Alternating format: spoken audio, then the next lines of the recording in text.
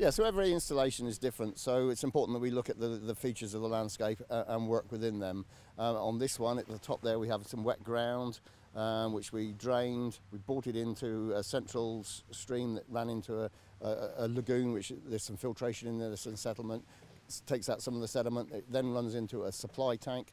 That then runs the water in steel pipes down to the pumps down here. Um, we've got about a 20 metre drop into the pumps and about 180 metre uh, distance. The pumps then pump the water 126 metres high and 1.2 kilometres in distance to a reservoir tank above the farm. The water then gravity feeds back down and into the cattle troughs. Yeah, the installations can be uh, quite simple as long as the instructions are sort of followed. Um, most competent people can put them in. Um, th this chamber here was installed by the farmer. Once the system's installed, it provides you with free water for many years uh, with virtually no, no maintenance.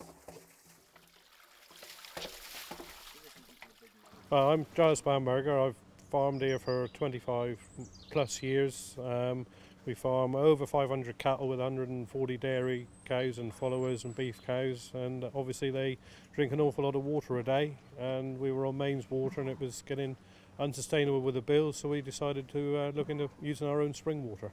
We used the Papa pump system because there was no electrical power where all the water was and obviously they run off their own water supply and um, it's easy to install and there's no hassle with wires and connections and electricity meters. And all the um, technical information we got from water powered technologies about heights of fall and pump pressures and everything and um, we did it in a reasonably short space of time and there was nothing too taxing. Our water bills have been about 22,000 a year and now we're only using mains water for washing the parlour down and in the house so the cattle are drinking the rest of it and we're estimating between 18 and 20,000 pounds a year saving.